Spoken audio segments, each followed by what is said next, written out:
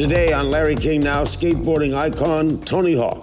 A lot of people want to get into skating nowadays, especially for fame or fortune. The ones who thrive are the ones who continue to challenge themselves no matter how they rate among everyone else. The fact that it was on ESPN the X Games, that created a fan base of people that didn't necessarily want to do it. And that's when we broke through a popularity barrier that we had been missing all along. The only people who appreciated skating before that were the ones that were actually skating. Plus, when cities are debating getting a skate park in their area, there's always the stigma that, that attracts the bad crowd. Was it ever a true stigma? More in the 70s, you know, when people were literally breaking into backyards to skate empty swimming pools. Did you ever do that? I did, yeah. You did? Yeah, yeah. That's today on Larry King Now.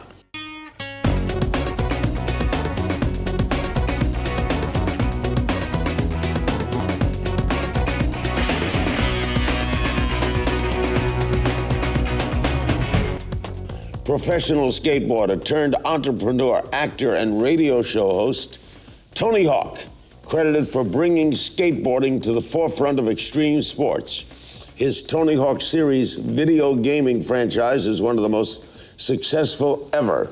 He also owns Birdhouse Skateboards, Hawk Clothing and Shoes, hosts a weekly radio show on Sirius satellites called Faction Channel.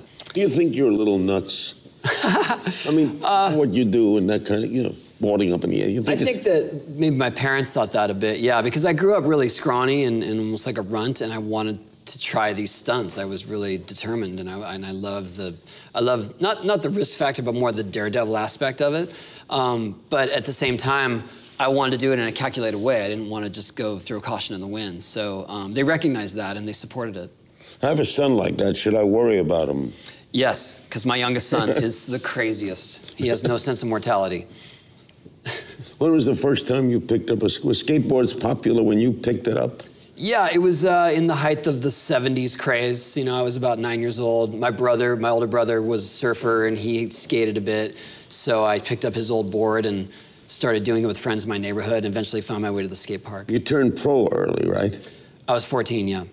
How, where did you compete at 14? Um, there was a there was an amateur series of events uh, that were usually uh, centered around the skate parks in Southern California. So there was like a series around those parks, and then eventually I rose to the top of that circuit, and the next step was to turn pro. But that was at a time when skating wasn't popular at all, so no one really. It wasn't smooth sailing at first, though, right? Well, I was 14, so I didn't know any better. you know. That's popularity it goes up and down, doesn't it? Where is skate- yeah. skateboarding in the popularity rung?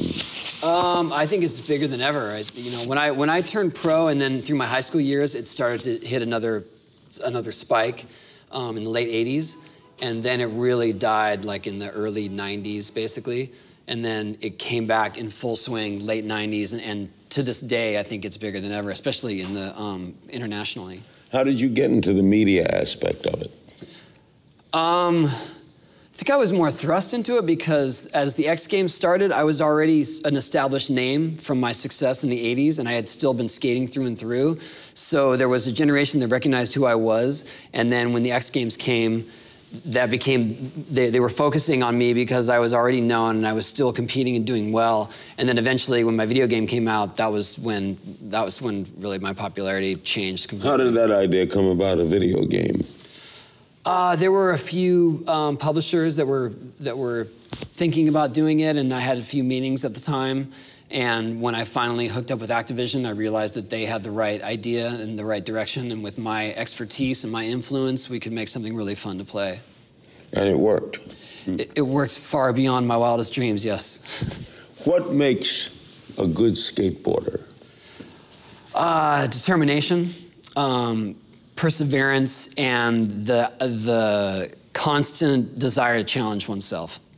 Um, because a lot of people want to get into skating nowadays, especially for fame or fortune, and if they get any taste of that, they lose their motivation.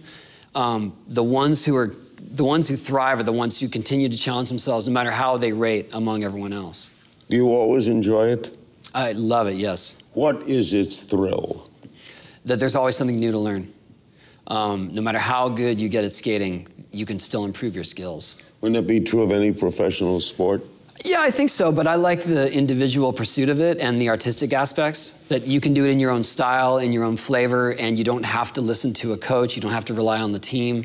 Um, and I mean, you can really be a successful skateboarder without having to compete ever, as long as you, as long as you perform, as long as you um, provide the footage and get the coverage. What made you, Tony, famous? Was it the X Games? What made you? Um, I think on a mainstream level, it was video games, for sure um, because our video game drew attention to skateboarding in areas and in, in, audiences that never would have recognized it otherwise. You play yourself in the game, right? I do, yeah. And how does the game work? Um, well, in, in, our in our main series, you play as the skater and you you complete different challenges. You try to link tricks together. You do combos. You you try to gain as many points as you can um, on a level or in a time frame. You try to collect certain items. Uh, you try to move through the entire um, the entire level uh, by opening up new spaces and new areas, and um, I mean that's that's through and through been. Did you lay it all out? No, but I had a big influence in it. I played it every step of the way. Are you, still, are you a technocrat? Uh, without being a programmer, perhaps, yeah. Um, I've always been into technology and always wanted to buy the newest stuff. Devising a video game is difficult? You, you, know, the, the most difficult part was in the beginning was, was giving a crash course to the, to the developer on what skateboarding is and how to present it, how to present it fairly and, and appropriately. Um, because there's so many ideas that people have about what skating is or what extreme sports are, and a lot of it is exploitive and, and a lot of it is not true to what we are actually doing. Who's the player, a young boy?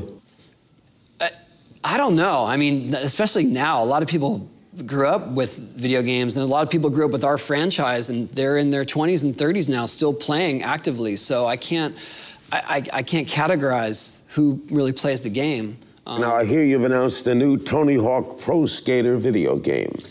Uh, we're working on a game for mobile devices, um, for phones and tablets. Uh, when we, is it coming? Uh, it'll be coming this year.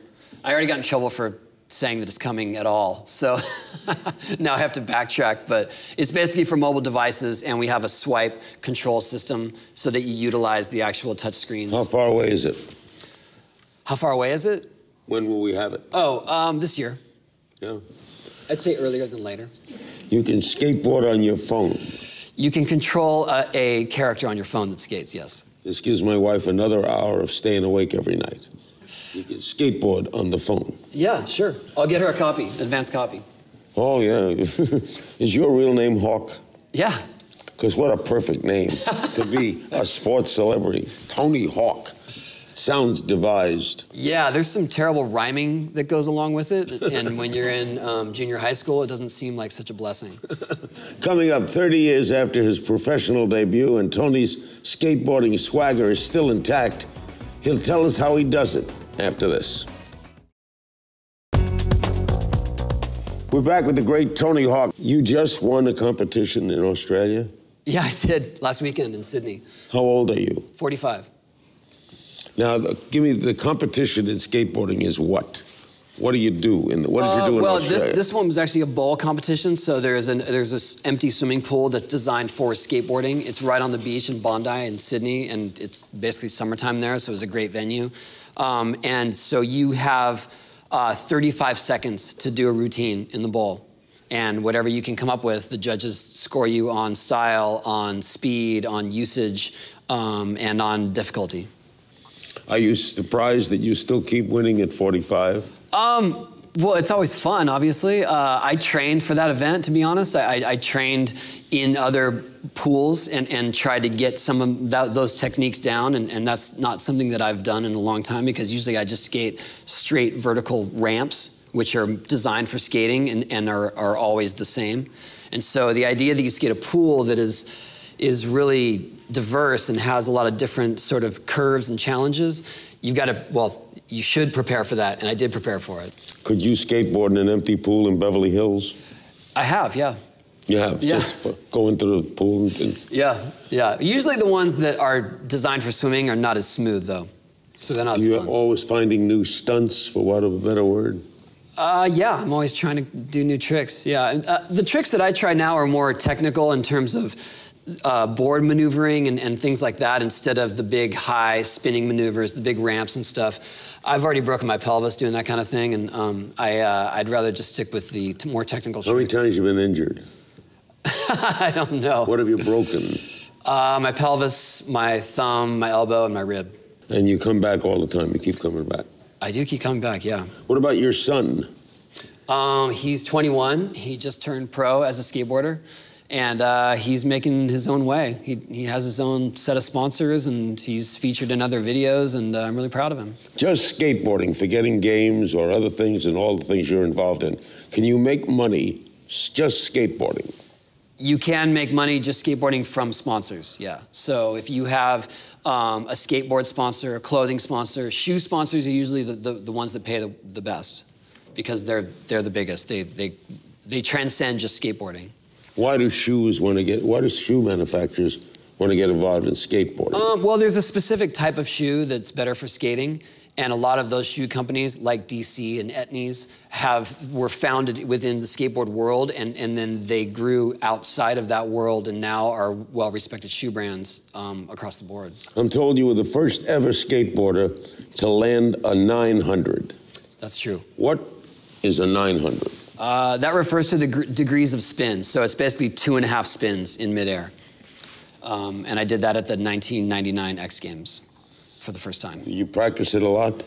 Uh, they're hard. they're still hard for me. So I do them sometimes if the timing's right, if I feel good, if the crowd is really um, energetic, then I'll try to do it. But they don't come easily, and I don't practice doing them quite a bit because if they go wrong, they go horribly wrong. Is there a lot of showmanship in this? Uh, yes and no. I mean, it depends on the skater. But in competition, they're not looking for that. Uh, it's more when you do tours and exhibitions that you can put on more of a show. How long can you keep on skateboarding? I don't know. I'm. Uh, I guess I'm the litmus test for how long you can do it as a pro. Now, you've been in a variety of television shows, CSI Miami, several films, the Jackass franchise. You like acting? Uh, well, Jackass isn't really acting, is it? Yeah, I guess not. Um, no, but I enjoy it. Yeah, uh, you know, and if I'm if I'm called to do that sort of thing, uh, I just did the show Rake, and um, but I usually play myself, and so that's relatively easy. What's your radio show? Uh, we do a show on SiriusXM every Tuesday, and basically, I talk about my travels. We play new music. We interview people either from our world or even outside of our world if I can have access to them. In fact, you know, if you want to come on anytime, just call in and we'll have a chat. How, do, how does it work? Uh, It's a podcast? No, it's a. no, it's SiriusXM. It's yeah. a radio. Yeah, every Tuesday, 4 p.m. Pacific. I'll call in. We'll arrange it with our. I'll call in That'd be awesome. because maybe you get me involved in skateboarding. sure. Do you ever think you're going to quit? Um, I can't picture myself quitting altogether. I can picture myself not doing it, say, in the public eye, and maybe you don't not. need to do it, do you? I mean, financially, you don't need to. I you guess don't need not, to but I just yeah, I, I can't I can't quit. And also, I mean, to, to have all this success and to have obviously these these companies and and and be so embedded in the industry, I not that I have to, but I do feel like I want to walk the walk. You know, I don't want to just sit there talking about skating and not actually doing it. Do you control your own clothing line? Uh, yeah, for the most part. I mean, you pick this. Uh, yeah. Uh-huh. Who manufactures it? Uh, Cherokee now. And you keep abreast of that, right? You keep on. Yeah, top of it? absolutely. In fact, it just the, it just switched ownership from Quiksilver to Cherokee, so um, very much on top of that. And now we have the uh, opportunity to take it internationally. After the break, will skateboarding ever become an Olympic sport? We'll get Tony's thoughts. Don't click away. We're back with the great Tony Hawk. If, if curling, if curling can be an Olympic sport, which is basically shuffleboard, right? I, we came up with a great sport the other day. Skateboarding, no, surfboard, a surf, uh, shuffleboard on ice for older men. It's called broken hip. We can get it. nice. Well, you ever see skateboarding in the Olympics? I think we will. I mean, uh, if you look at the success of snowboarding in the Winter Games and how that's brought a more youthful edge to the Olympics in general, they don't have that with the Summer Games. They don't have anything that's drawing in a, a younger viewership. And so I think they, to be honest, I think they need skateboarding more than we need them because skateboarding's popularity is solidified for the most part in a lot of countries. How do you propose it though? How do you go about? it? You go to the International Olympic Committee. How's it work? Um, there have been talks, and I've been involved in a couple talks, but but I have heard. I don't know if it's too definite or not, but I have heard it's very likely going to be in the 2020 games. That would be a great boon, right? That'd be great. Yeah. Now you would be a commentator. Yeah, I don't think I'd compete. You would not compete. Is there a major young skateboarding star now? Uh, there are there are plenty of them. Yeah, I mean, uh, I think there are a few like the guys who would be skating the ramp. The guys who would probably be in the Olympics, uh, I say on the U.S. is a guy like uh, Mitchie Brusco or Tom Schaar. Both of them have have broken the 1080 barrier. They've done three spins in the air um, in the last few years. Uh, one of the guys I just saw in Australia, Alex Sorgente, uh, he has come into his own in a huge way, and he's going to be a star too. Uh, you never done three spins, have you? No, I mean th- my uh, 900 stood until f- three years ago. Really, that Yeah, long? yeah. Um, and I I killed myself. I mean, I really got.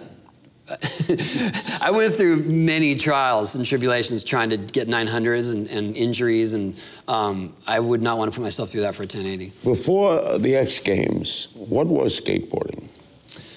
Um, it mean, was it was a ESPN sport. I mean, a sport, though, Yeah, no, because there. I grew up competing. I grew up competing when I was 10 years old. So competitions for skateboarding have been there through and through. It's just that they weren't on a bigger broadcast network. So and and you know ESPN took the same exact formula. In fact, the same exact organizers to produce the X Games. So it's not that they created competition in the format. It's just that I think that the fact that it was on ESPN the X Games that created a fan base of people that didn't necessarily want to do it, and that's when we broke through a popularity barrier that we had been missing all along. The only people that skated before that, the only people who appreciated skating before that were the ones that were actually skating. And then once the X Games came, there's people sitting on the couch that understand what a 360 flip is. You know, that didn't happen when I was a kid. How do you prepare for a competition? Uh, well, if, if it's the, on a ramp, you either try to skate the ramp it's going to be on, or you you prepare routines, knowing that you're going to be ready for that exact course, um, and hopefully learn something new that you can pull out of your bag at the last second without anyone knowing. It's hard to it's hard to do new things and not be known for it. So if you can learn something new and keep it under wraps, and then do it at a contest, that's worth a lot. Have you still, do you see things now that amaze you? Every time, yes. Um, the the the height, the, the consistency of technical tricks, and the difficulty levels now is stuff that we never dreamed of. We never dreamed of 10 years ago, let alone 20 years ago. Are women in the sport? Yeah, um, more than ever, actually. The ratios are much larger now. Um, and, and especially internationally, the ratios are, are, are better than, than here. Like what to what? Um, like there's a there's a, a a very successful skate program in Afghanistan called Skateistan, and the ratio is 50-50. wow. And they say it's the only co-ed sport in Afghanistan. So I think that's pretty fascinating. Does the sport still get the respect you think it deserves? I think it gets more respect than it has in the past. Um, I think it still has a long way to go in terms of general mainstream acceptance, especially in within city councils. Um, when cities are debating getting a skate park in their area, there's always the stigma that, that attracts the bad crowd, that it's not a healthy choice for the kids, and they're just not looking past their own stereotypes. Did it ever have that? Was it ever a true stigma? Um, I think more in the 70s, you know, when people were literally breaking into backyards to skate empty swimming pools. That, that didn't bode too well for the reputation of it. Did you ever do that? I did, yeah. You did. Yeah, yeah. Yeah, well, all the skate parks were closing in, in the early 80s, and I still wanted to do it, so we would just go wherever we could, find Where, empty swimming where'd you pools. grow up? San Diego. In 2002, you started the Tony Hawk Foundation. What does it do? We help to support public skate parks in low income areas. So, cities and communities that are trying to get parks in their area, we help to give them resources and funding and, and basically the book on how to get it pushed through the, the red tape. Um, to date, we've, uh, we've helped to fund over 500 parks. We've given away over $4 million, and, um, and we're starting an international outreach program with a group like Skateistan. So, um, we're trying to branch out and, and, and help people in all communities. Is there is it an expensive proposition for a city to build a skate park? Not compared to other facilities, no. Um, a general skate park is is I'd say about hundred thousand dollars. Some they range from even like twenty five thousand dollars to a million dollars, but you know for a decent facility it's about hundred to two hundred. Um, if you see a skate park get built in a city, especially a new one, it gets used from sun up to sundown. Um, and while other sports facilities stay empty. And, and that's when the cities recognize the, the, the need and, and the usage of it. Is it more popular in better climate states? Um, I mean, you have a skate not park. in- really. I no, mean, really, Minneapolis has skate parks. Yeah, yeah, for sure. We, we have state president in all 50 states. Um, but the, um, the skate industry was based in California mostly because it was sort of spawned from surfing. And now it's not like that at all. And so there are skate parks all over the place, a lot of indoor places for, play, for, for the cities with adverse weather. There's indoor skateboarding too. Yeah, Of course, in the cold weather climate, wouldn't you freeze? exactly. Yeah. Have you skateboarded in cold weather? Y- Yes. Is Very cold. Yeah. I've, I've actually dug snow off of skate parks and ramps to get out there. Next, Tony will answer your questions. We'll play a little game of If You Only Knew. We'll be right back with Tony Hawk. Stay with us. We're back with Tony Hawk. Some social media questions. Bryson Knox on Facebook. Do you still feel like you can take on younger competitors in skateboarding competitions? Uh, maybe some of them, but uh, I, I think I think there's a uh, there's an era of kids coming up that are really well-rounded, that are able to skate um, almost any terrain. And I've always been focused more on the vertical, which is the pool and the ramps. And so um, when it comes to a more general sense, they could destroy me for sure. Uh, Mark Webster on Facebook. As you get older, what do you do to speed up your recovery from injuries? Uh, my best answer is I get out there as quickly as possible. If I let my injury sort of, if, if, I, if I let it affect me and I let it drag me down and I, and I stay off my board for too long, it's much harder to get back to it. John Grist on Facebook. Who are your favorite skateboarders? Um, well, one of my first heroes uh, was Eddie Elguera, who was very progressive for his time. Um, Steve Caballero, who's still, they're both still skating today, actually. And um, I really enjoy uh, Bob Burnquist. Uh, Can Catherine on Twitter. What's your best memory of your skateboarding career? Um, my best memory, besides making the first 900, was probably being on The Simpsons. Being on The Simpsons. Yeah. They drew you. They did, yeah. I mean, that's What was the story? uh, the Homer story was that the story was that Bart was emancipated from his parents, and he moves into this apartment building, and I live on the top floor. and so it's his dream come true, and he ends up becoming my roadie on tour.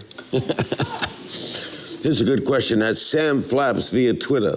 How important is the skateboard? Um, well, without it, we wouldn't be able to do this, obviously. I know. Um, but we've always argued the horse to the jockey. How Yeah, important is it's, the uh, I- board to the skater? If, I'll ask you this way. The greatest skateboard ever made with a pretty good skateboarder, an average skateboard with a great skateboarder, who would you bet on? Oh, the the pretty good skateboard, yeah.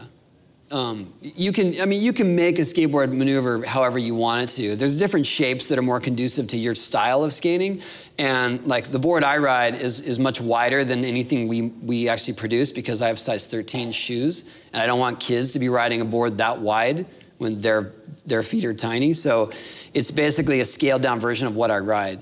Um, and the shapes are all pretty standardized now. So um, it's it's important, but it's not it's not that crucial. What tricks, uh, Quinn Smith, Instagram, what tricks have become more difficult to land?